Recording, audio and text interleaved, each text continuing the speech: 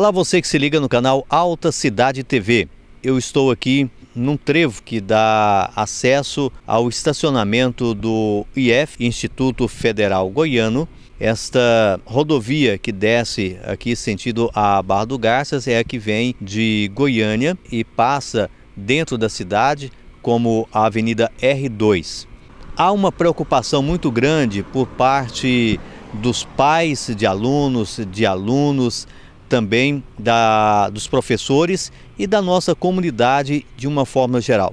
Uma vez que esse trevo, quando ele foi construído, poucas casas existiam, inclusive a comunidade indaga a respeito da segurança, uma vez que já vários acidentes aconteceu aqui. Inclusive na manhã desta quinta-feira, dia 4, numa das entradas que dá sentido a Goiânia, passando aqui pela Avenida R2, aconteceu um acidente envolvendo um motociclista e um sedã.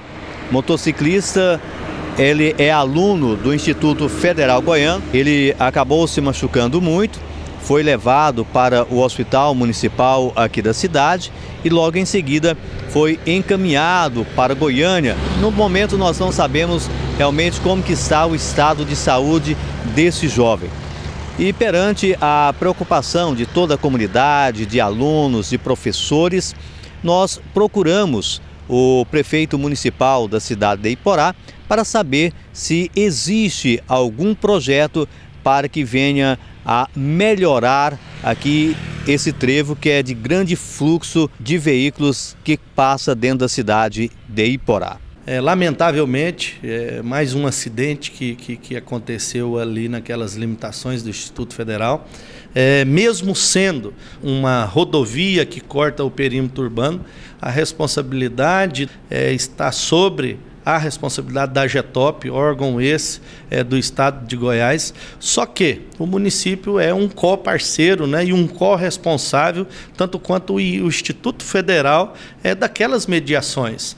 É, há sim uma preocupação e tem tido esforços da parte da Prefeitura Municipal, é, tem tido esforços por parte do Instituto Federal, na pessoa do, do, do, do diretor é, José Júnior. Já estivemos junto na AGETOP há 60, 90 dias atrás, justamente tentando resolver problemas é, que vinha de encontro para sanar, mesmo que seja parcialmente, essa problemática.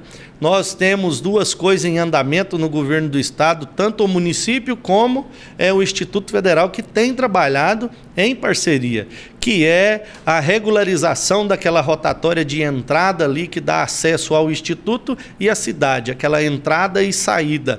E nós temos avançado nessa questão. É, a Getop teve aqui dias atrás fazendo alguns questionamentos técnicos da área, visitou a área, deixou aí algumas recomendações para o Instituto Federal e para o município. E nós estamos tentando fazer e chamar a atenção ali, principalmente de forma educativa, a todos os, os as pessoas que utilizam daquela via. Nós sabemos que ali é uma via de grande quantidade de veículos e até veículos com alta velocidade, com cargas pesadas.